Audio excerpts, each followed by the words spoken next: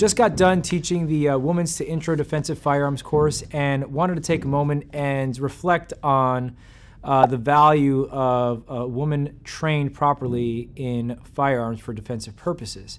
Uh, I think there's a lot of value with that, uh, particularly to, to women with regards to their own personal defense.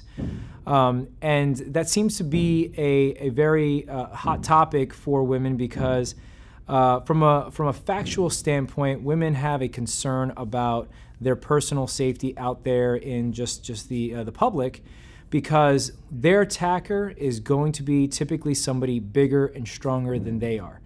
Uh, and that is something that, that obviously gives them concern.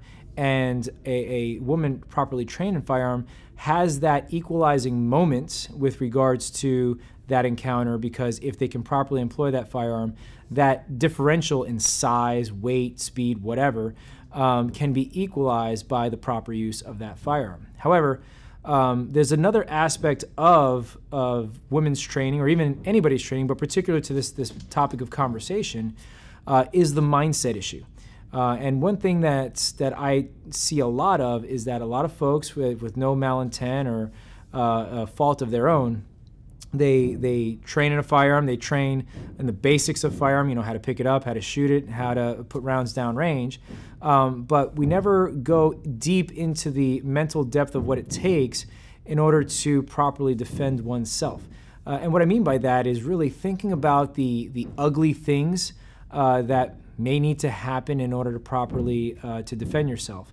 Uh, and that being said, where you have a larger attacker that may be in close proximity to you, and before uh, you can get to your firearm and properly employ it, it might mean that you you need to fight your way hand to hand in order to get distance to use that firearm, or uh, you might need to actually squeeze that trigger. Or while you're squeezing that trigger, your attacker still has some fight left in him or her, and they actually close the distance on you in that case. So there's many different scenarios uh, that plays out. But with regards to the uh, mental uh, toughness, mental fitness of a woman properly trained in firearms, I think that uh, a woman who is properly trained in not only the skill set and technique of a firearm, but also the mindset aspect of it is a very, in a, in a, positive way, very dangerous thing, dangerous for their own safety because they're, they are on the same playing field of their attacker and perhaps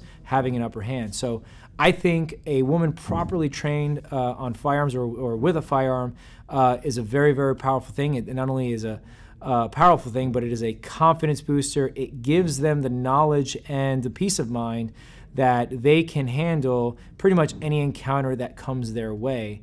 Um, and, and that's, that's a great thing. And, and women need to have that um, because uh, unfortunately, again, as, we, as I mentioned, um, they're typically attacked by somebody bigger, stronger, and things like that. Um, and women need that. Women need uh, to have that equalizer. Now, this is nothing to take away from, from women who are either bigger or highly trained with their hands and, and things like that. That goes with, with anybody.